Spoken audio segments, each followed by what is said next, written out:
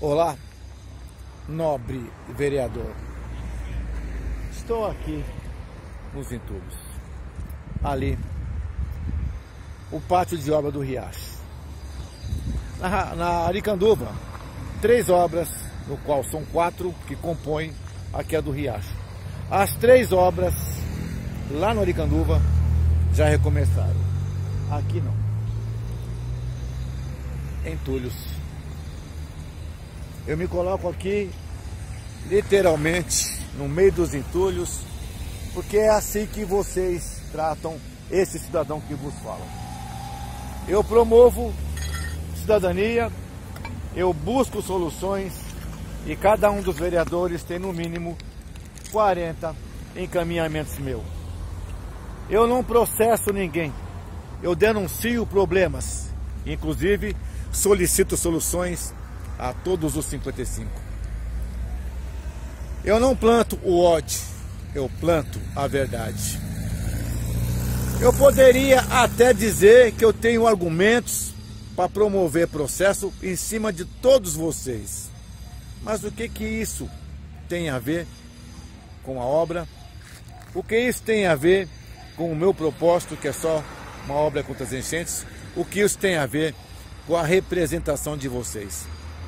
Ronaldo Godeguese me deixou sem salário.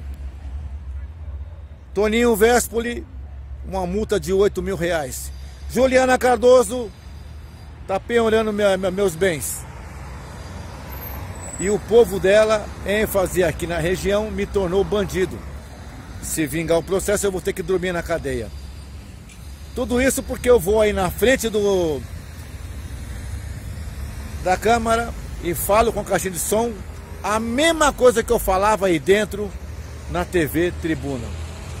Então eu estou solicitando de vocês, aquele que tiver no mínimo consciência, porque coração eu estou vendo que nenhum de vocês tem. Tirar de uma família o sustento, tirar a dignidade de um cidadão que não é bandido, tirar de um cidadão o seu direito de ser homem dentro da sua casa, porque é isso que vocês estão fazendo comigo. Então eu estou chamando a atenção de todos para que converse com Toninho Véspoli, para que converse com Ronaldo Godegues e tire o processo.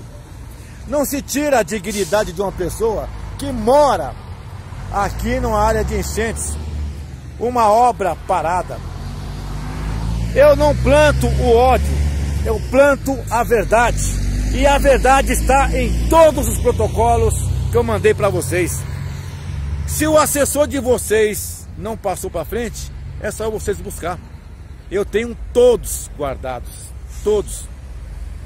Aí eu pergunto para você, nobre vereador, quem é que está com a maldade? Quem que é rato? Quem que é o sem vergonha? Quem que é o pilantra?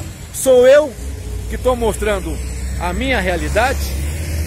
Ou é você que tem medo da verdade? Enquanto vocês têm salário, eu estou sem salário. Vai para o sexto mês. Chamo a atenção de vocês. Quem de vocês, eu gostaria que todos, mas quem de vocês tem coragem de resgatar a minha dignidade? Porque na realidade, está na mão de vocês. Meu nome, Cidadão Comum. Estou pedindo aqui, de coração, de peito aberto e dizendo sem medo de ser feliz: eu não processo ninguém. Mesmo que eu tenha o direito de fazer isso, eu não me dou ao direito de fazer isso. Sabe por quê? Porque eu não sou nada. Já vocês são nossos representantes.